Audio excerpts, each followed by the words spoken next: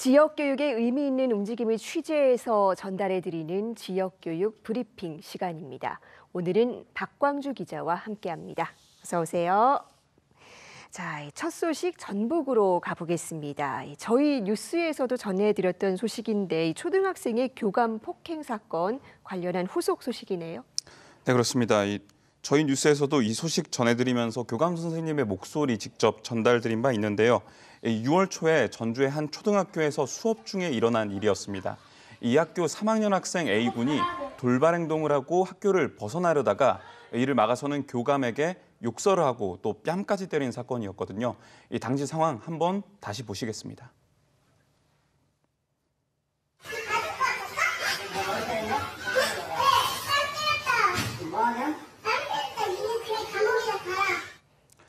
예, 화면을 보시면은 교감 선생님은 이 학생이 난동을 부리고 있는데도 말로만 타이를 뿐 물리적인 제지를 못하고 있습니다. 이 현행법상 자칫하단 아동학대 신고까지 당할 수 있어서 뒷짐을 지고 있었다는 게 그 설명입니다. 이 학교 측은 이 학생이 훈육을 넘어서 치료가 필요한 상태로 보고 있는데요. 이 학부모의 동의가 없어서 별다른 후속 지원도 할 수 없었다고 밝혔습니다. 이 사안을 두고 오늘 전북 교사노조가 기자회견을 가졌는데요.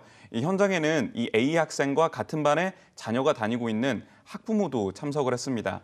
이 다른 학생들의 안전한 교육 환경을 지켜주는 일도 매우 중요하다고 발언을 했었는데 직접 한번 들어보시죠.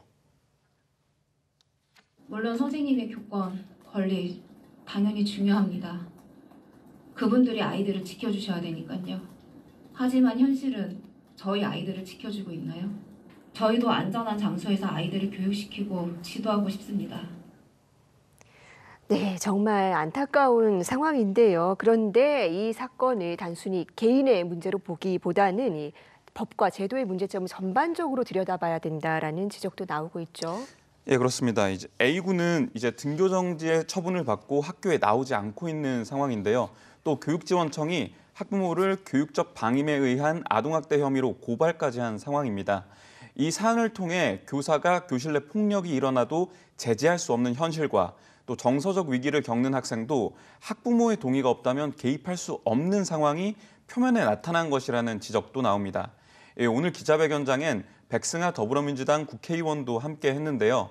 최근 3년간 정서행동 위기관심군 학생 중에 전문기관까지 연계되지 않은 학생 5만 5천여 명 중에 학생과 학부모가 거부해서 연계되지 않은 학생 수가 4만 5천여 명, 그러니까 82%에 달한다고 밝혔습니다.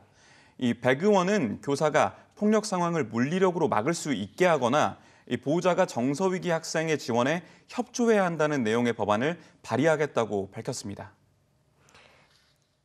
교육활동 중 자신 또는 타인의 생명, 신체에 위해를 끼치거나 재산에 중대한 손해를 끼칠 우려가 있는 긴급한 경우 학생의 행위를 물리력을 이용하여 제재할 수 있게 하겠습니다. 보호자는 치료 상담의 학습 지원 등 필요한 지원이 원활히 이루어질 수 있도록 협조해야 한다고 명시하여 학부모가 동의하지 않으면 치료를 받을 수 없는 현행 문제점을 개선하겠습니다.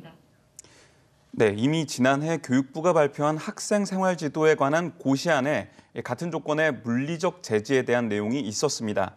하지만 이 교육부 고시가 법은 아니다 보니까 실제 현장에서는 힘을 발휘할 수 없는 상황인데요. 이 학생에게 물리적 제지를 할 수 있다고 이 내용이 담겨진 것을 두고 감론을 박이 있을 수는 있겠습니다. 그런데 이렇게라도 통제가 필요할 만큼 교육 현장의 문제가 심각하다는 신호로 보이기도 합니다.